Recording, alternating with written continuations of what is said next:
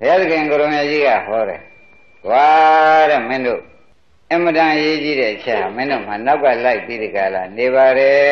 ဆိုတဲ့ဥစ္စာကိုသူသတိပေးရှာတယ်။ရေးကြီးတဲ့အချက်ကဘာတုံးဆိုလို့ရှိရင်ဒီ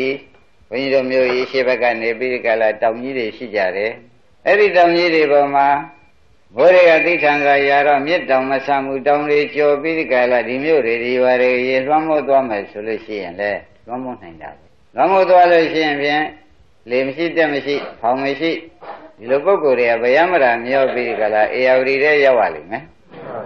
အေယဝရီကနေပြီးကြလားသမုဒ္ဒရာရောက်သမုဒ္ဒရာရောက်ငားလိမ့်မကန်းတို့အစာဖြစ်ကြလိမ့်မယ်ဆိုတာလည်းအထင်ရှားပဲဖောင်မရှိလေမရှိနဲ့ဆိုကြရင်လေဘယ်လိုလို့ဆရာရှိသေးတုံးလို့မဲနေလို့ရှိရင်ဖြင့်အဲဖောင်မရှင်မဲနဲ့မဲနေတဲ့ပုဂ္ဂိုလ်အိတ်နေတဲ့ပုဂ္ဂိုလ်တွေအဖြစ်ဗျမရာမျောလို့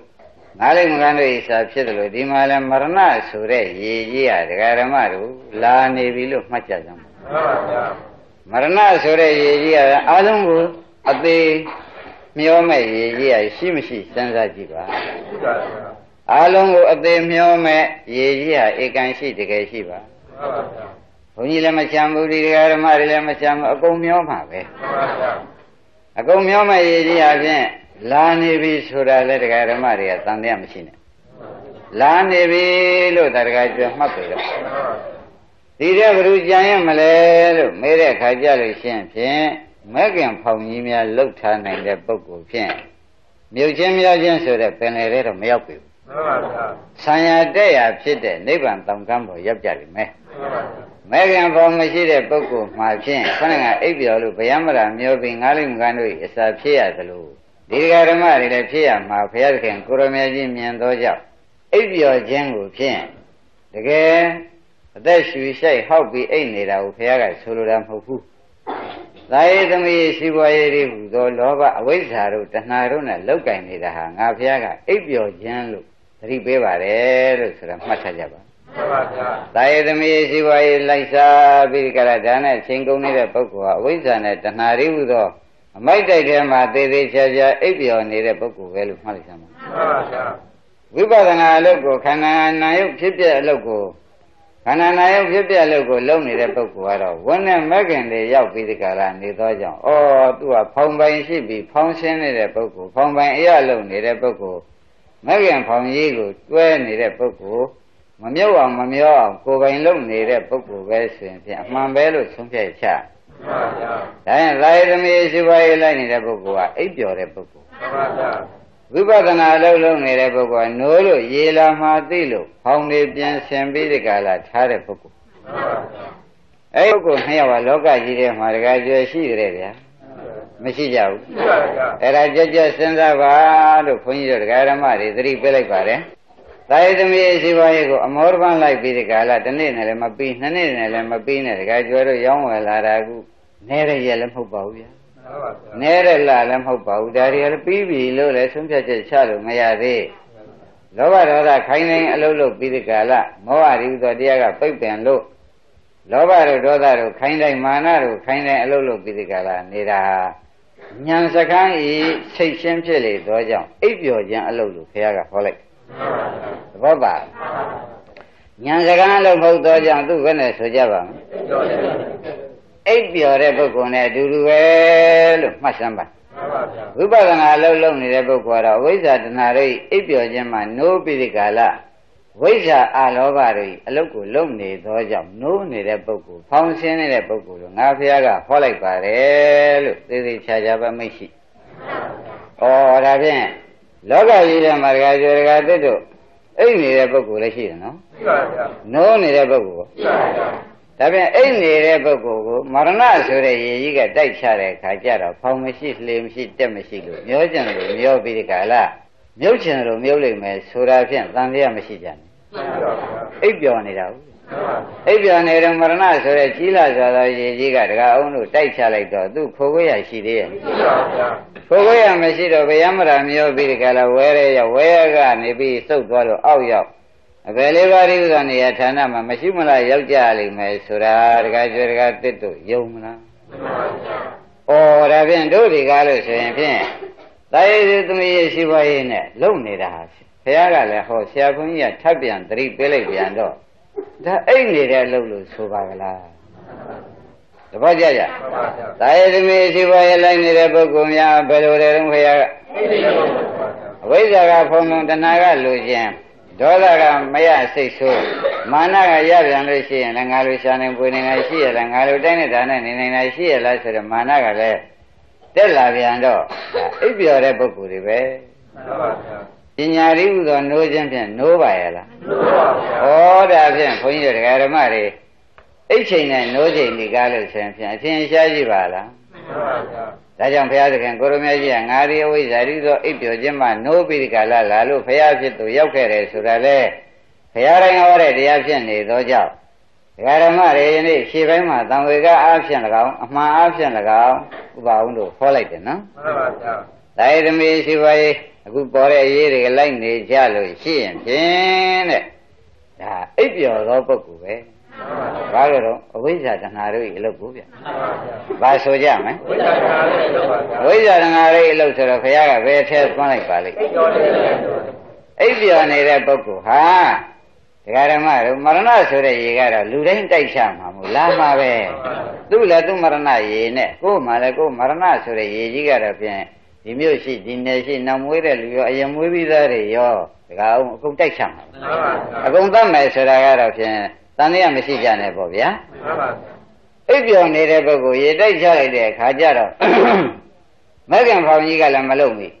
လက်မဲ့မျောရတဲ့အခါကျတော့ရေကြီးကတန်တန်လက်မဲ့ကလည်းမျောရပြန်ဆိုတော့ရေစီမံကလေးခံရလို့ဝဲရဲလည်းရောက်မှန်ပါဗျာဝဲစီမံကလေးခံရလို့အောက်ငရဲကိုလည်းရောက်ဆိုတာညှင်းပွေရလူသေးမှန်ပါဗျာဩ ဒါဖြင့်ဒကာဓမ္မတို့ရောင်းတိုင်းဝယ်တိုင်းနေတိုင်းထိုင်တိုင်းဒကာကျွဲတာဘုရားခင်ကိုရမကြီးဉာဏ်ပညာနဲ့ကြည့်လိုက်တော့အိတ်နေတဲ့အလုပ်လို့မှတ်လိုက်စမ်းမှန်ပါဗျာ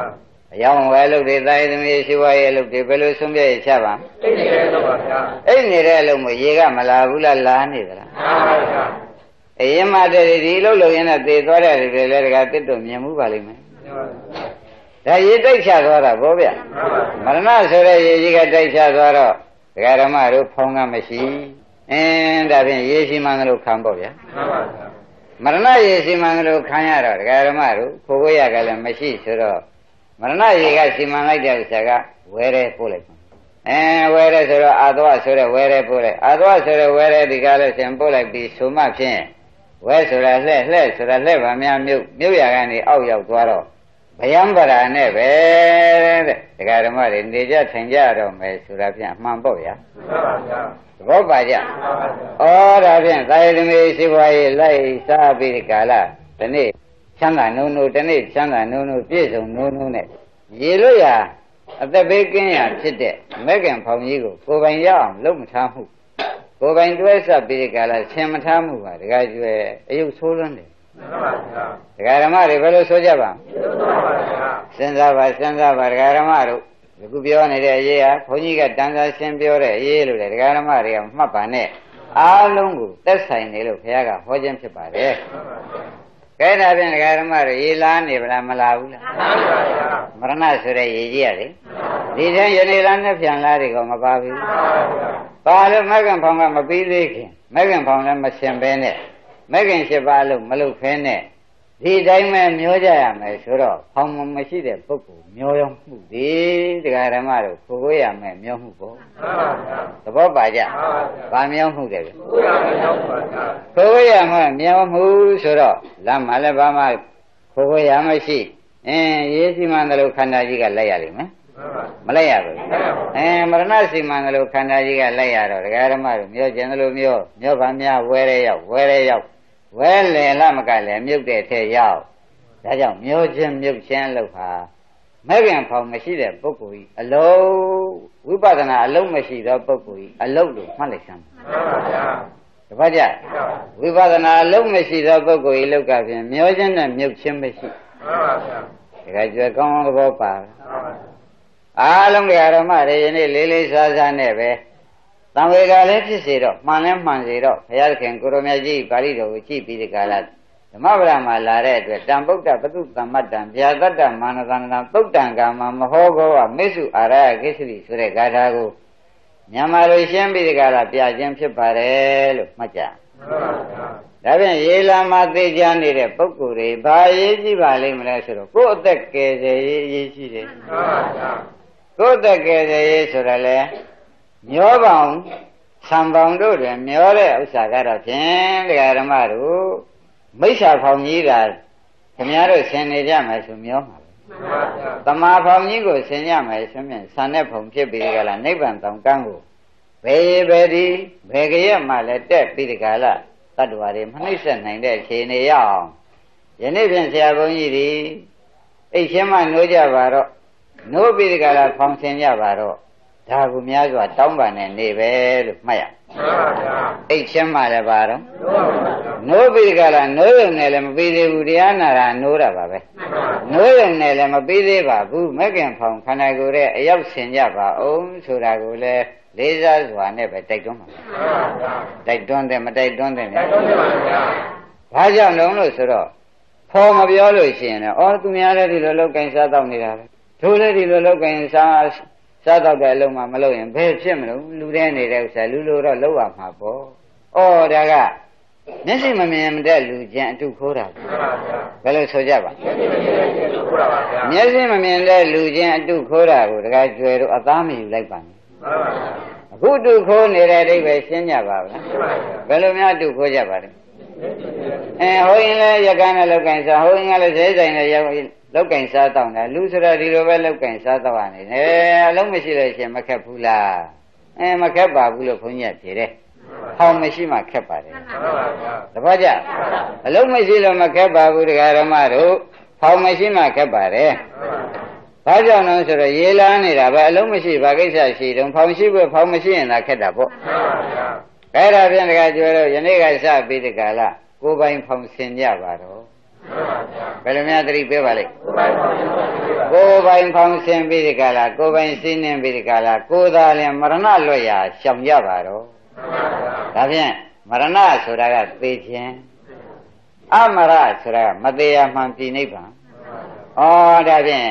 ဒီအကြီးလို့ခေါ်ရရေးကဖြင့်မက္ကံဖောင်မတပတ်ပုတ်မဲ့လူဆောင်းမဲ့လူတို့မှကဲမဲ့လူယူမဲ့လူမရှိတော့ပါလား အဲ့ရကနိုးမတော်တော့မယ်ဆိုပြီးဒီကရာမက္ကံဖောင်ဖြစ်ကိုဖြင့်ဒကာရမတို့လှုပ်ဖြစ်အောင်လုပ်ကြပါမှန်ပါဗျာသဘောပါကြမှန်ပါဗျာသမင်းညာရေးလို့ခွန်ကြီးဒကာရမတွေဒီစကားကိုမယူလိုက်နဲ့နော်မှန်ပါဗျာဥပအောင်သမင်းညာလာတယ်မှန်ပါဗျာသမင်းညာလို့ဒကာရမတွေအခုပြောနေတဲ့စကားကိုနားမလည်လည်းမရှိပါနဲ့နားလည်အောင်လည်းပြောနေပါတယ်။အော်ဒီရေးဟာသာယသမီးရှိပါရဲ့လိုက်နေတဲ့ရေးဟာဝိဇ္ဇာတဏှာတို့၏အရေးဖြစ်လေသောကြောင့် ဒါအိပ်ပျော်နေတဲ့အလုပ်ပဲမှန်ပါဗျာ။ဝိပဿနာနဲ့ခန္ဓာ၅ပါးတစ်ပါးပါဖြစ်ဖြစ်ရှုပြီးဒီကလာမဂ္ဂင်တွေဝန်ထဲရောက်နေတဲ့လောက်ကတော့ဖြင့်မဂ္ဂင်ဖောင်ကြီးကိုမတရားဆန်းတဲ့ဖောင်ကြီးကိုကိုယ်ပိုင်လုပ်ပြီးဒီကလာကိုယ်ပိုင်အသေးရှောင်းနေတာရှောင်းဖို့ကိုအစင်သင့်ပြင်းနေတာဘာလားလို့ဆိုရင်မှန်တယ်ပဲဆုံးဖြတ်ချက်ချမှန်ပါဗျာဒကာကျွဲတာဖြင့်အရေးကြီးတာအရေးကြီးပေါ့ဗျာမှန်ပါဗျာအရေးမကြီးတာဘုန်းကြီးတို့ဒကာဓမ္မတွေကချိတ်ပြီးဒီကလာထားလိုက်ပါအောင်ဆိုတာကိုသ တိပေးလိုက်ပါတယ်မှန်ပါဗျာ။ဒါရင်တာယသမီးရှိပါရဲ့ရောင်းဝယ်ဖောက်ကားရဲ့ဟူတွေ့သည်နိုးတာလားအိတ်တာလားမှန်ပါဗျာဝိပဿနာအလုံးလုံးနေတဲ့ပုဂ္ဂိုလ်ကလို့ပါဗျာဒါရင်နိုးနေတဲ့ပုဂ္ဂိုလ်ရေတိုက်မှန်နဲ့ဟုတ်လားဖောင်ရှင်နေတဲ့ပုဂ္ဂိုလ်ရေတိုက်လို့ရှိရင်ဖောင်ရှင်နေတဲ့ပုဂ္ဂိုလ်ကဖောင်ရှိလို့အန္တရာယ်ကင်းတယ်မှန်ပါဗျာမနေ့ကသာယသမီးရှိပါရဲ့ဒီဟူသောအိပ်ပျော်ခြင်းနဲ့အိပ်ပျော်နေတဲ့ပုဂ္ဂိုလ်ကဖြင့်ဖောင်မရှိလို့လက်မဲ့မျိုး မှန်ပါဗျာမျောရကနေဝဲရဲရောက်ရောက်ရကနေပြီးမြုပ်ဖို့သာရှိတော်တယ်ဆိုတာဒီရေးတဲ့ကြီးတာတော့ဖြင့်တကယ်ကြွယ်တကယ်တက်တကယ်အောင်လို့မရှိဘူးမှန်ပါဗျာဒါဖြင့်ဒကာဓမ္မတို့မဂ္ဂင်ဖောင်ဆိုတော့လေပြောပြမဲ့လူရှိမှလဲကိုအန္တရာယ်ကင်းလို့ဘေးကင်းအောင်ကယ်ဆယ်မဲ့ဖောင်ဟာလုတ်တတ်တာမှန်ပါဗျာဒီတိုင်းတို့မဂ္ဂင်ကြီးရပါလို့ဤမဂ္ဂင်ဖောင်ကြီးကိုစိနေမိတကလားနိဗ္ဗာန်မျိုးကြီးကဆံတဲ့ရပါလို့ဤ ဆိုယုံနဲ့လည်းရတာမဟုတ်ပါဘူးရပါဗျာကိုယ်တိုင်ဆင်ပြီးဒီကလာကိုယ်တိုင်သိပြီးဒီကလာလုံးမသာလင်တရားဓမ္မတို့ရမယ်လို့ဖြစ်နေသောကြောင့်အခုတရားဓမ္မတွေခွန်ကြီးများကသတိပေးကြတာကတရားဓမ္မတို့ခင်ဗျားတို့အယောင်းဝယ်ကောင်းတဲ့ခွန်ကြီးဖြင့်ကြမ်းမှချမ်းသာမှုတော့ဝမ်းသာပါရဲ့အေးကျူးတယ်လို့ထင်တာပဲမှန်ပါဗျာမဆိုရဘူးလားဆွဲပါဗျာအယောင်းဝယ်ဖြင်းမြန်နေပြန်တော့လေအေးဒါ ဆိုင်လေးပိတ်ပြီးဒီကရာဒီတိုင်းနေမယ်ဆိုလို့ရှိရင်လည်းနောက်လာမဲ့ဈေးကောင်းလေးကြလို့ရှိရင်လည်းဆိုင်မရှိမှန်းသိတယ်ဘယ်သူမှမိတ်ဆက်လာမှာမဟုတ်တော့မျောလင်းစောနဲ့ပဲတခါနေပြန်တော့လေမကောင်းတဲ့ခင်ဗျားတို့အိတ်နေတာမှန်ပါဗျာကောင်းတယ်ရှိပါဗျာဒါဖြင့်ဘယ်တော့မှနိုးတယ်မရှိတော့ဘူးဆိုလို့ရှိရင်ဘယ်တော့မှကိုယ်ဖောင်ကိုလှုပ်ဖြစ်တယ်မဲ့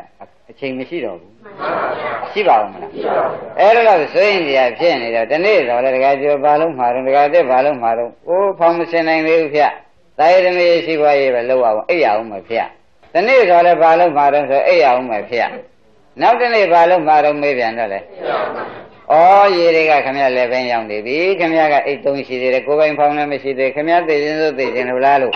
ဒီပြန်လည်းမေးစရာမရှိတော့ဘူးမှန်ပါဗျာဒါပဲမေးရတော့မယ်ဆိုတာသဘောပါမှန်ပါဗျာအဲ့ဒါကြောင့်ဘုန်းကြီးတို့ဓမ္မတွေဟာမတိသောပုဂ္ဂိုလ်ကပြောဆိုနေတာတွေကိုအတုခိုးပြီးဒီကလာတိသောပုဂ္ဂိုလ်ကအန္တရာယ်ကင်းဖို့ဘေးရှင်းဖို့ရှောင်ပါဆိုတာကိုအေးဆက်ဆက်လုပ်နေတာတော့ကိုယ်မိုက်သူပြောတာဖြင့်တကယ်ပြောမရှိဘူးရှိပါဗျာညာရောက်ကြဗလားရှိပါဗျာ သံမြင်ညမဟုတ်ပါဘူးလို့သတိထားလိုက်စမ်းပါမှန်ပါဗျာအလွန်လွန်ရေးကြည့်တဲ့စကားနှခွန်းပါလားဖောင်ရှိမှလွတ်ကင်းမှာပါလားမှန်ပါဗျာမတရားမှန်ပြီနိဗ္ဗာန်ဆိုတာမဲ့ခင်နဲ့မှသွားလို့ရတယ်နော်မှန်ပါဗျာခြေချင်းလေးရင်နဲ့သွားလို့မရပါဘူးဗျာအဲ့ဒါကြောင့်မဲ့ခင်ဖောင်မှကိုယ်ပိုင်မရှိလို့ရှိရင်ဘုရားသခင်ကိုရမကြီးကပြန်မင်းတို့အသေးလို့တဲ့နေရာဌာနလည်းမင်းတို့ဟာ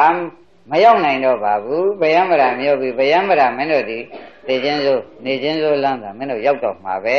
ဆိုတာမြင်တော်မူသောကြောင့်မဲ့ခင်ဖောင်ဒီဖြင့်စင်ပြအောင်ဆိုတာကိုဓမ္မဝရပါဠိတော်မှာတိုက်တွန်းမှန်ပါဗျာတကယ်ကျွဲ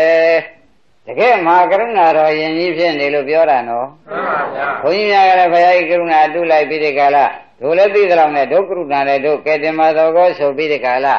ခမည်းတော်အိတ်ပေမဲ့နေတိုင်းနှိုးပေးနေမှန်ပါဗျာ ခမည်းတော်ကတော့အိတ်တာပဲအဲနှစ်ပြန်ပါလို့မတော့အယောင်းပဲတစ်ပတ်ပါလို့ပါလို့ပြောကြဆိုကြနဲ့ခဏကပါလို့မတော့ဆိုခဏကလည်းကိစ္စတွေကမပြင်းပြတ်တာတွေကရှိသေးဒါတွေဟူသေးရကအိပ်ပျော်ခြင်းဖြင့်အိပ်ပျော်နေတာပဲလို့မှတ်ရမှန်ပါဗျာသဘောကျကြမှန်ပါဗျာဒါဖြင့်အားလုံးကဓမ္မတို့အိတ်တွေကို ရက်ဆဲပြီးဒီကလာအနိုးပဲလှဲလိုက်ပါအောင်ဆိုတဲ့ဥစ္စာတိုက်တွန်းရပြန်တယ်မှန်ပါဗျာရှင်းမလားရှိပါဗျာကောင်းပြီဒါဖြင့်ဘုန်းကြီးတို့ဓမ္မတွေဒီတိုင်းနဲ့ပဲအချိန်သာကုန်လို့ရှိရင်ဖြင့်ဩခမည်းတော်စုထားတဲ့ပစ္စည်းကလည်းခမည်းတော်မကယ်တဲ့ပြင်မှာပြိတ္တာဘုံကပဲသူကမျောသေးသေးချမ်းမဲ့နဲ့ပြိတ္တာဖြစ်အောင်မျောချလိုက်အင်းလောဘဒေါသတွေကလည်းငရဲရအောင်ပဲမျောချလိုက်မောဟဆိုတာလည်းတိရစ္ဆာန်ဘုံရအောင်မျောချလိုက် ဩဒါဖြင့်သူအိတ်နေခဲ့လို့ဒီဘုံဒီဌာနညှိုးရင်ရောက်လာတာကိုလို့မဆိုနိုင်ဘူးမှန်ပါဗျာဒါဖြင့်ဒကာရမတို့အိတ်ချိန်လားနိုးချိန်လားလို့ရပါဗျာနောင်ဝရီတို့ဆရာသမားနဲ့လည်းမတွေ့တော့ပါဘူးဒကာကျွဲသာနာကြီးကလည်းမရှိတော့ပါဘူးရှိပြန်လဲအောက်တန်းတရားတွေသာရှိနေမယ်ဆိုလို့ရှိရင်လည်းဥပအောင်ခက်ပြီမခက်ပဲဘူးလားဒါကြောင့်ဘုန်းကြီးတို့ဒကာရမတွေယခုချိန်ကစပြီးဒကာဒကာကျွဲရှေ့ပိုင်းမှာနိုးချိန် နိုးပါတော့နှိုးပြမဲ့လူလည်းရှိပါသေးတယ်မှန်ပါဗျာနောင်ကြတော့နှိုးပေးမဲ့လူကိုပဲတကယ်သိရှိလိမ့်မယ်လို့ဘယ်တော့မှမအောင်မင်းမှန်ပါဗျာ။ဘာဖြစ်လို့လဲဆိုတော့ဟောဒီမေကမွေးလာတယ်ဒီမညာပဲရောင်းနေဝဲနဲ့တောင်းသူဖြင့်တောင်းသူလေသမားသားသမီးဖြင့်တောင်းသူလေသမားလို့ကိုပဲသင်လို့တော့အဲ့ခက်သင်လို့မှန်ပါဗျာအဲအယောင်းဝယ်သမားဖြင့်လည်းသူသားသမီးကိုအယောင်းဝယ်ပဲသင်လို့လိုက်ပြန်တော့အိတ်တာပဲသင်လို့တယ်နိုးတာပါရလားမှန်ပါဗျာ သူတို့ပါတဲ့နိုးတာလေးကလည်းမင်းပွေရင်လူတာပေါ့ကွာအာရှိရတဲ့လာပြီလားကဥပုသ်ဆောင်တာပေါ့ကွာဒါလေးကလည်းမက္ကန်ဖောင်ထဲမှာသူကအရင်ဖြစ်တဲ့အရင်တွဲရမယ်ဖောင်မမဟုတ်ပဲနောက်မှသီလဆိုတာနောက်မှဝင်လာတာရှိဥစွာငါးလုံးတွဲပြီးမှရှစ်လုံးဖြစ်မှာကူမှန်ပါဗျာအဲ့တော့ဒါလေးတော့ကလည်းတွဲလို့လည်းမဖြစ်သေးတော့ ဒီဟာလေးကလည်းခင်ဗျားတို့ခိုးလောက်အောင်စီးလောက်အောင်အန္တရာယ်ကင်းလောက်အောင်ကတကားကျွယ်တကယ်စင်စစ်မဖြစ်သေးဘူးမှန်ပါဗျာဖြစ်ပါ့မမရှိပါဘူးမဖြစ်သေးတော့လူသေးတဲ့ဖြစ်တွေကများမနေဘူးမှန်ပါဗျာအေးဒါကြောင့်ဩခုဘောလက်တင်ပြီးစဉ်းစားပါယနေ့တရားဩငါနဲ့ပြန်ပါလို့မှာတော့တပတ်ကငါပါလို့မှာတော့ခဏကငါပါလို့မှာတော့ကိုကိုကိုနှစ်ခုဘောလက်တင်စဉ်းစားဩငါဒီကားလို့ရှင်ဘုရားသခင်ကိုရမကြီး ညံသွားနဲ့ကြည့်လိုက်တဲ့အခါအဲ့တဲ့အလုပ်ကြီးငါလုပ်နေပါလားနိုးတာကိုမပါပါလားနိုးမှသာရင်ဖောင်ဆင်ပြစ်တယ်မနိုးတဲ့ပုဂ္ဂိုလ်ဖောင်ဆင်ပြစ်တယ်လို့ထုံးစံရှိပါရဲ့မရှိပါဘူးဗျာအဲ့ဒါကြောင့်အလုံးလုံးမယ်လို့ကြံလို့ရှိရင်ပဲအိတ်မှာအိတ်အိတ်တဲ့အလုပ်လားနိုးတဲ့အလုပ်လားဆိုတာကိုလည်းဝေဖန်ပြီးဒီကလာအိတ်ချိန်နဲ့နိုးချိန်လေးကိုဖြင့် ဖွဲကြဝေဖန်ပြီးဒီကလာသိကြပါဆိုတာတရားမဟုတ်မီရှင်းဖို့ကာလမှာကိုယ့်ကိုယ်ကိုဝေဖန်နည်းကိုပြောလိုက်ပါတယ်မှန်ပါဗျာဝေဖန်တတ်ပလားမှန်ပါဗျာကဲဒါဖြင့်တာယတမေဇီဝရေလည်းလိုက်နေတဲ့အချိန်ကျတော့ဘာချိန်ဆိုကြမယ်သိတယ်သိပါဗျာအင်းခန္ဓာကိုယ်ဉာဏ်လဲပြီးဥပဒနာရှုနေတဲ့အချိန်ကျတော့တို့ကြပါဗျာဟောအဲ့ချိန်လဲဒကာဓမ္မတို့ ရေလာနေတာပဲမှန်ပါဗျာနိုးချိန်ရေလာတဲ့ပုဂ္ဂိုလ်နဲ့အဲ့ချိန်ရေလာတဲ့ပုဂ္ဂိုလ်နဲ့အန္တရာယ်ကင်းမှုကအတော်ကွာပါလိမ့်မယ်မှန်ပါဗျာတခါနိုးနေတဲ့ပုဂ္ဂိုလ်ကလည်းဖောင်းပါရှင်ပြီးဒီကလာပြီးပြီးသားဖြစ်နေနေမယ်ဆိုရင်တော့ပြင်ကြံတဲ့ပုဂ္ဂိုလ်တွေကမ္မတကာပဲနိုးလို့ဖောင်းရှင်တဲ့ပုဂ္ဂိုလ်သာလည်းလူရေးကျွရေးချမ်းသာရေးသူ့မှာသာကိုယ်ပိုင်ရတော့တယ် မဆုံးနိုင်ဘူးလားအဲ့ဒါကြောင့်ခင်ဗျားတို့အိတ်လာတဲ့ရက်ပေါင်းဘယ်လောက်ရှိပါလဲလို့မေးလို့ရှိရင်ကလေးသူငယ်လူမဲကလည်းအိတ်လာခဲ့တယ်ပညာသင်လုံးကလည်းသိပါဗျာအိမ်တော်ကြီးသားလို့တည်တော်ကြပြန်တော့တယ်သိပါဗျာအိမ်တော်သားကြပြီးဒီကလာတခါကိုကိုကိုယ်နဲ့နေကြမြန်တော့သိပါဗျာခိုင်းဒါပြန်အိတ်တဲ့ချိန်ကများပြီးနိုးတဲ့ချိန်ကနေတော့နိုးတဲ့ချိန်မြန်မြန်ဆင်လိုက်ရင်လည်းဒီဖုံဖြစ်ပါသေးတယ်မှန်ပါဗျာအလုံးဝမဆင်တော့ပါဘူးဆိုရင်ဖြင့် ဘယ်လိုပိဋိတွေရွတ်ပြီးဒီကလာဘယ်လိုအမျှဝေညာတော့လဲမျောချက်မြုပ်ချက်ကတန်လုံးလို့သာဓုခေါ်ချိန်မပေါ်နိုင်ဘူးမှန်ပါဗျာပေါ်နိုင်မလားမှန်ပါဗျာအဲ့ဒါတွေညာနဲ့လက်ကြည့်မှာဩငါနဲ့ဒီလိုဆရာကောင်းသမားကောင်းနေတာမတွေ့တော့ဘူးဆိုလို့ရှိရင်ဖြင့်ငါတော့ကိုကျိုးနေတာဖြင့်မရှိတော့ဘူးဆိုလိုက်ဘူးလားအခုနှုတ်ချိန်နဲ့အဲ့ချိန်တရားဓမ္မတွေကွဲကြပါဘူးခိုင်းဒါဖြင့်နှုတ်ချိန်မှာတရားဓမ္မတွေဘာလုပ်ရမလဲ ဝိပဿနာရည်သောမဂ္ဂင်ဖောင်ကြီးရှင်းရမယ်ဗျဝိပဿနာမဂ္ဂင်ဖောင်ကြီးရှင်းမှသာလင်တဲ့တရားဓမ္မတို့လောကုတ္တရာမဂ္ဂင်ဖောင်အစစ်ဖြစ်လာမယ်မဟုတ်လားကောင်းပြီဒါဖြင့်ဒကာဓမ္မတို့ဖောင်းဆင်းတဲ့ဤကိုပဲ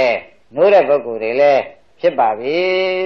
နိုးပေမဲ့လည်းဖောင်းကိုပဲလို့ဆင်းရမှမသိလို့ရှိရင်ဖြင့်နိုးနိုးနဲ့မျောရလို့ရှိရင်လေ ဒါနနိုးတိလာနိုးလောက်နေတော့မျောမှာပဲမျောပဲဘူးလားမှန်ပါဗျာမက်ကင်ဖောင်းကြီးမှမရသေးသေးကာလပတ်လုံးဖြင့်ဒကာဓမ္မတို့စိတ်အေးလက်အေးနဲ့နေဖို့ရအရေးဝေးပါသေးတယ်ဆိုတာသုံးဖြတ်ချက်ချမှန်ပါဗျာပေါ်ကြဗလားမှန်ပါဗျာ